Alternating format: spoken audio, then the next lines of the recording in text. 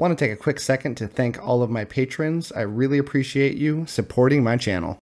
Hey everybody, this is Matt from Matt's Fantasy Book Reviews, and today I am going to be going over my 2022 reading stacks using a variety of different places. Uh, first, I'm going to be going over Storygraph with you all, which is a cool little feature that I just recently found out about, um, where you can import your Goodreads data into, and it'll pump out some interesting uh, data that I've never seen presented in this way. So it's pretty cool. So let's start looking at this. And first is going to be uh, the 117 books I read and the moods. So the number one mood is adventurous.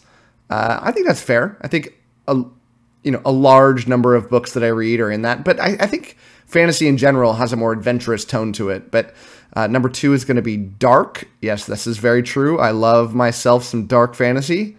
Um, then emotional. Emotional. I feel like I don't read a lot of emotional books. Oh, yes, Robin Hobb. I read a lot of Robin Hobb. And that is going to do it. Uh, funny. Yeah, I read a lot of Pratchett this year and a couple other funny type of things. Mysterious. Then we're getting down to some weird things tense, light, lighthearted. Okay, I love that lighthearted and hopeful. These like these little teeny slivers, and then dark is this huge sliver. That would that makes sense. Um, let's move down to pace. This is nice and nice, evenly spread. Um, you know, about a third, not really. Um, you know, a little more than a third for fast, a little more than a third for medium, and a little less than a, about a quarter for slow. I think that stacks up, right? Uh, page numbers. Yes, I think this is probably going to be true for a lot of fans of epic fantasy, uh, where the 500 plus is going to be a majority of what we read. Um, very few books, 13% were under 300. And yeah, seems about right. fiction and nonfiction, 100% fiction. Yep, that is me. Uh, fantasy, the vast majority, 101. 18 science fiction. I don't remember reading 18 science fiction books. What are they? Martha Wells, Hod King isn't science fiction. That feels like fantasy. Night Watch. Okay, what are they talking about? A few of these are science fiction. I think the only real science fiction that I read was Murderbot and Gideon the Ninth. But those are arguably fantasy as well. Oh yeah, I did read some uh, some Expanse. So okay, seems about right. Historical. I read some historical. Yeah. LGBTQIA plus. I've never heard it said exactly like that, but okay. Um, five. I feel like that fits into the other ones though. Um, young adult. Oh man, I feel like all of those I didn't really go for. Uh, down to let's see. Those are meaningless. Most authors read. Yeah, Terry Pratchett's going to be number one. Yeah, I've been kind of trying to get through Discworld, um, and they're short books, so that definitely makes sense. Uh, Robin Hobb, yep, I finished out the Robin Hobb this year. John Gwynne, read a lot of John Gwynne this year. Will Wight, read a you know good amount of Cradle books.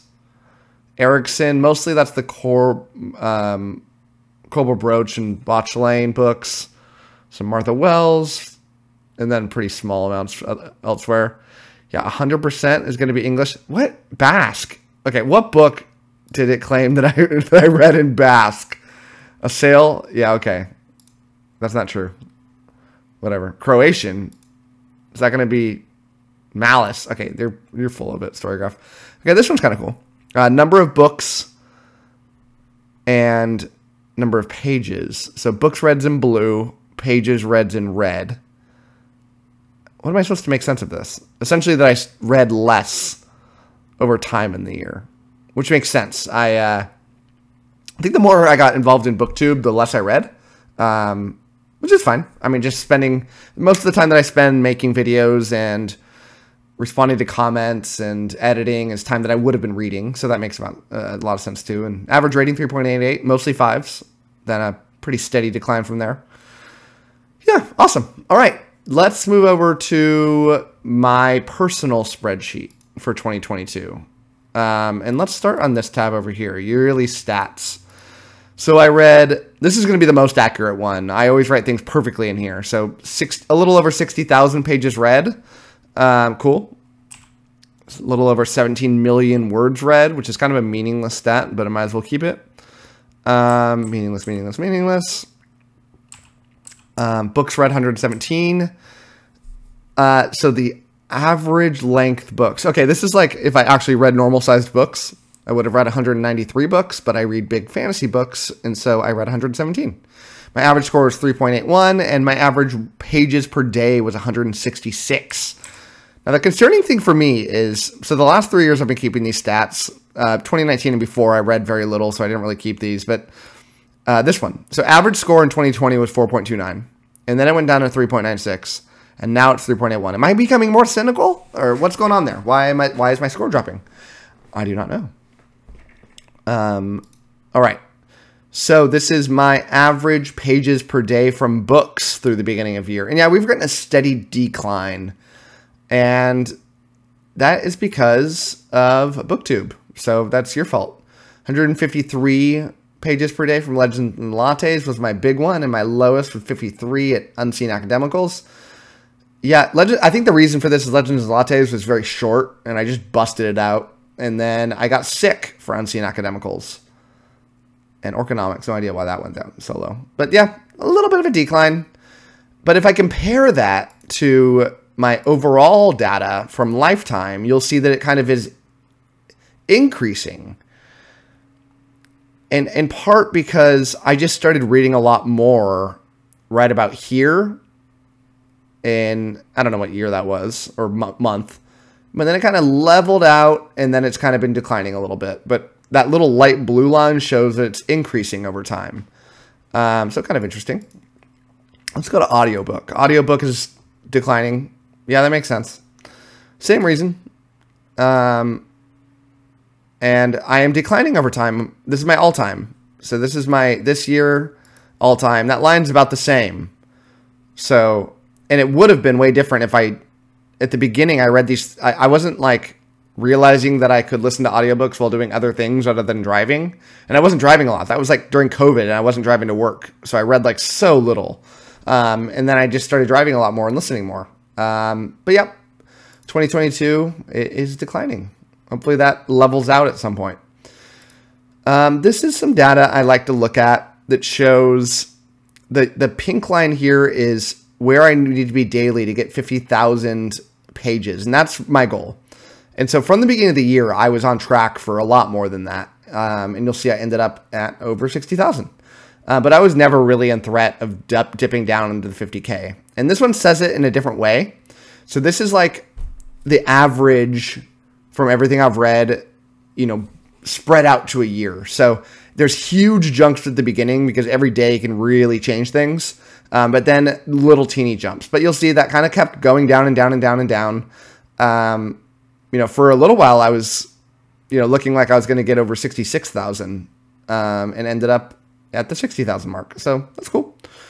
Um, total red. Okay, now this is not just 2022 data now. This is lifetime data, but I can, so this is my, what am I looking at? Books read. So books read per day. And if I stretch this out to just 2022, this is a cool little no, I mean, this is pages read in a day. And that doesn't look like I'm declining. I guess, I mean, it is. But when you stretch it out to lifetime, you can see that it's definitely increasing. And then the same for audiobooks. This is pages per day. Let's go to 2022. That definitely looks like a decrease. And then over time, yeah, so little at the beginning and then big jumps. And then this is combined. Um, We'll go to 2022 again. Yeah. And then another little cool thing on this sheet that I, it's gone. If I look over on my regular one, you'll see that I can uh, see what the most I've ever read in a day. So the most I ever read in a day was 278 pages. And the least I've ever read in a day is zero. That makes sense. I got sick. Sometimes I read zero. It happens. And the most physically out of a book is 209. I read very consistently, not like a lot, but every day I kind of read the same amount. Um, so I think that's all the data I have to show you there. And then so the last, oh, you know what? I think you might be interested a little bit. Now this is more lifetime, not just this year, but I'm going to check out my yearly stats. No, I checked out that. Ranks. Yes.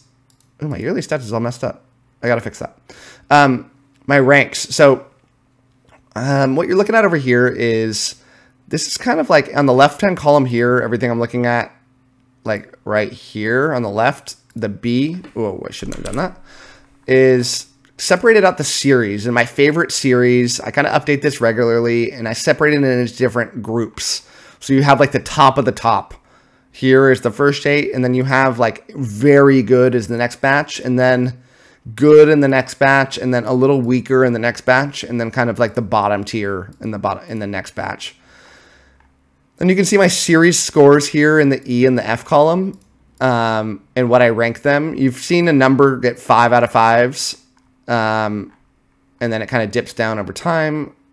I need to spread that one out a little bit. And then daily book averages. The most I've ever averaged from a book was Towers of Midnight, 148 pages a day from physical book. And then Blood Rites on audio, 104. Um, yeah, series averages. Um, the fastest, uh, the most I've ever read from a series average is Kingskiller Chronicle, but there's so little. Of the Elderlings is the impressive one because there's so many books. And on average, when I'm reading Realm of the Elderlings, I read 117 pages a day. Um, the most from a series I've read is Malazan, 15,000 pages. Then Discworld, Realm of the Elderlings, Wheel of Time, and then a big drop off. And then series words, it should be the same thing. No. So Wheel of Time has a lot of words per page. So Malazan's number one at almost 6 million words, and then Wheel of Time at 4.4, and then Realm of the Elderlings at 4, and then a big drop off. Uh, Discworld has a lot of pages, but there's not a lot of words on pages. And then author scores, you've seen a few authors get five out of five for every book. Brian Lee Durfee, um, Alec Hutson, only he's read written one book that I've read. Pyre Abba's written three. Jay Kristoff one. R.J. Barker two. Fonda Lee three. Nicholas Eames two or one, two, and John Gwynne is a lot of books I've read, and that's a four point nine four. That's that's an impressive number right there. And then author pages, Brandon Sanderson, I've read the most of because he did a lot of Wheel of Time and the Cosmere stuff. 12,000, then Terry Pratchett, then Robin Hobb. Author words, Brandon Sanderson by far on the top, then Robin Hobb, then Steven Erikson. And then I don't know that you'll find any of this interesting over here. This is books ranked by year. This is pretty geeky stuff. I'm not going to delve into that stuff. So the last thing I'm going to show you is my Goodreads. Um, Goodreads pages read is higher. I don't know why. Like books aren't always perfectly accurate there. Shortest book 112 pages, longest 1718. Not much to show you here. Just a bunch of images of the book cover. So I'm going to end it there. Uh, thank you so much for watching. And as always, happy reading to you. Thanks again to all of my patrons and a special shout out to my Ascendant tier patrons, Sky, Russell, Ron Reich, Romeo Mike, and CJ.